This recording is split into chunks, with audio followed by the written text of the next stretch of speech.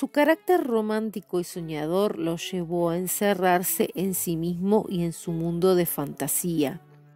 Introvertido y excéntrico, solía cenar acompañado de estatuas porque no le gustaba comer en compañía de personas.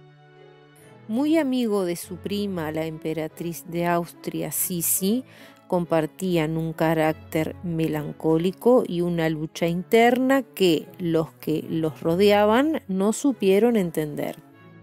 Nació en el año 1845 y con tan solo 18 años, Luis tuvo que hacerse cargo de la corona al morir su padre.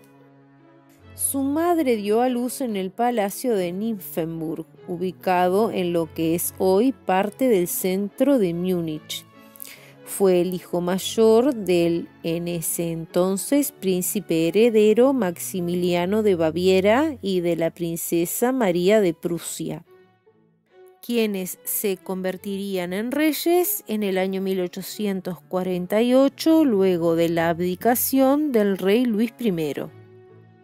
De niño fue sujeto a un estricto régimen de estudios y ejercicios ya amaba el arte y la actuación, disfrazarse y escuchar cuentos y leyendas de la Edad Media.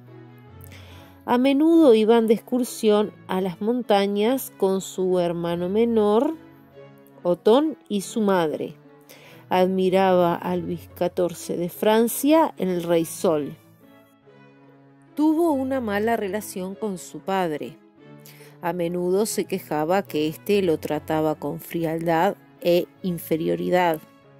Sin embargo, tuvo una relación cercana con su abuelo, el rey Luis.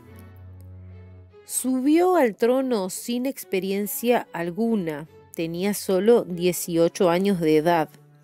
Como él mismo decía, sentía que lo habían arrancado de sus estudios y sentado en el trono. En el año 1866 sufrió la mayor derrota de su vida. Prusia venció a Austria y Baviera en la guerra alemana. Desde entonces Baviera dependería de Prusia en política exterior y su rey se convirtió en vasallo de su tío prusiano. Fue un apasionado de la música de Richard Wagner, quien escenificó unas 200 funciones operáticas privadas para el rey. Para mejorar la acústica del teatro, hacía llenar la platea con soldados como público.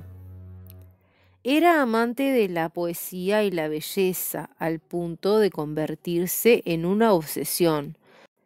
Nunca se casó, aunque estuvo comprometido con su prima Sofía Carlota de Baviera.